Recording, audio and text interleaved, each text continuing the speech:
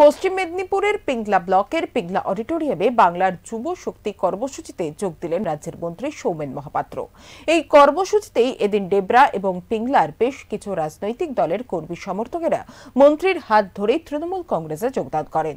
আনুষ্ঠানিকভাবে তাদের দলে স্বাগত জানান সৌমেন মহাপাত্র। একই দিনে খড়গপুর দু নম্বর ব্লকের মৌয়াতে পথশ্রী প্রকল্পের উদ্বোধন করেন মন্ত্রী। পিংলা সবং দেবরা এই জায়গায় যুব শক্তিতে প্রায় একশো জন নতুন সদস্য। তারা যোগ দিলেন।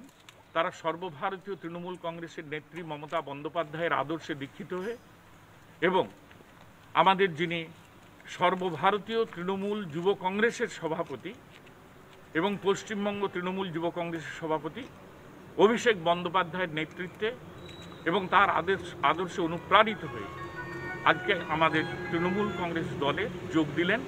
আজকে তার জন্যই আমরা এখানে সবাই সমবেত হয়েছি। আমি পিংলার বিধায়ক হিসেবে গর্ব অনুভব করছি যে যুব শক্তি ধীরে ধীরে জাগ্রত হচ্ছে।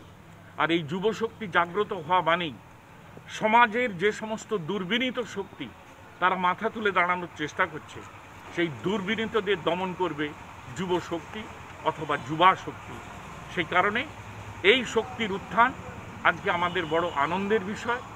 আমাদের কাছে এটা একটা পরম তৃপ্তি পরম পাওয়া। আমাদের দল এর দ্বারা সম্ভব। তিনি অঞ্চলের প্রধান তার দায়িত্বে আছেন এছাড়াও অনেক বে-